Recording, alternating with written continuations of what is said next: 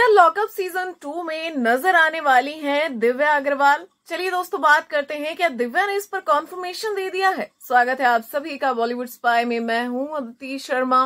तो दोस्तों, हाल ही में इंस्टाग्राम पर दिव्या ने जो है एक क्वेश्चन आंसर वाला सेशन किया आस्क मी ए क्वेश्चन और उस सेशन के दौरान जो है वो काफ़ी सारे सवालों के उन्होंने जवाब दिए अपने रिलेशनशिप के, अपनी शादी कब होने वाली है, बहुत सारी चीज़ें जो है, बहुत सारी बातें हुई।